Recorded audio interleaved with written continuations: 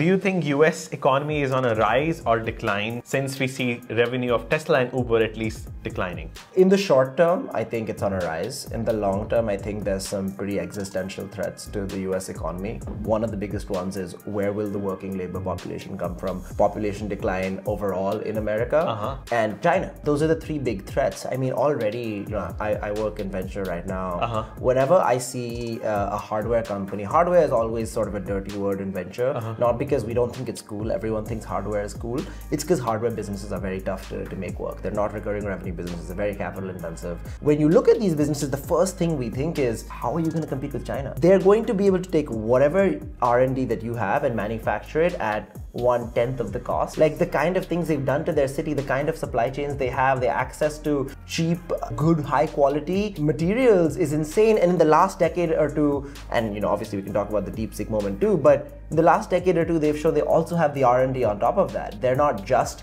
a manufacturing shop like the Foxconn to iPhones. They're more than that. Like you can actually, they can actually build their own robots, and you see that with Unitree. The fact that they can sell one of those dogs for 1600, like tell me when Boston Dynamics is able to sell any of those dogs. They're never going to be able to because you can't sell it for 1600 if you manufacture in America because America doesn't have labor arbitrage anymore. Long term, the US has to figure out how to make it work. Short term, I think it's fine if you look at all of these tech companies and innovation.